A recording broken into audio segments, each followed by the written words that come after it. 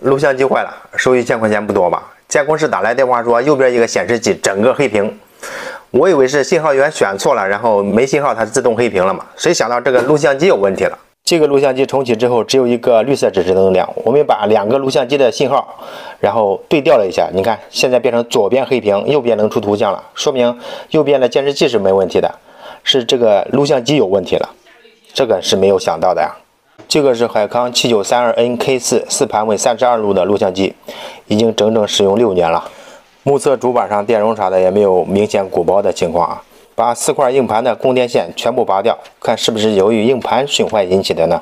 发现一个规律啊，通电的时候主板上一个红色的指示灯是亮的，过一会儿它自检的时候有个滴响一声，只要滴一响，然后指示灯也灭了，各路供电呢都变成零了。指示灯亮的时候，我再测各路输出的电压是否正常。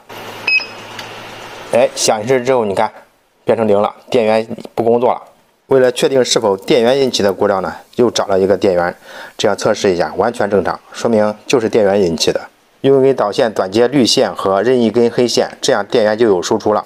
测量三点三伏、五伏、十二伏都完全正常。测量再正常，装上不能用，那等于零。所以说要拆开看一下是什么问题。毕竟咱们测量时候是空载嘛，装上是待载。吹完干净多了啊！目测的话，它里边电容也没有鼓包啥的，我是怀疑某个电容出问题了。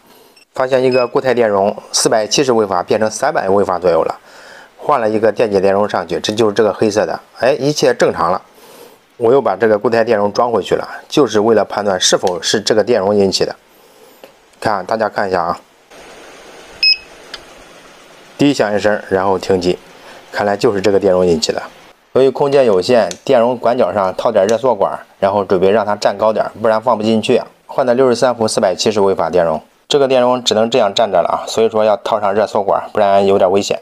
这个电容就是五伏的滤波电容，你看，录像机一切正常，就是这个电容引起的。我们测量一下这个电容啊，十六伏四百七十微法的固态电容，看一下结果。三百零八微法，然后这个 ESR 值呢也有点高。这个固态电容呢是五伏的滤波电容，这个电源用的芯片是 EST 七六二七 N，它有完善的过千压保护功能。应该是电容容量不足之后呢，当整机启动的时候检测到五伏不足，它就会保护。到底多大的 ESR 值为好呢？看，我又找了一个全新的六十三伏四百七十微法的电容，看一下测出来的结果，零点零五欧。这个硬盘录像机呢，成本得一千多，然后还不含硬盘。假如换个狠人的话，说这个电源坏了，把这个主板也给烧了，硬盘也没保住，也烧坏了。那这样全部一换的话，那得好几千呢。